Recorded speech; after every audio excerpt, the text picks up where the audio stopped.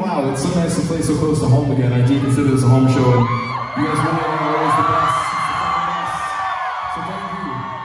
We'll be back in LA later this year, so uh, hopefully we'll see you then. And, uh, sorry, I don't want to go, but this is it. This is the last song. We're Wallows. Have a Good night.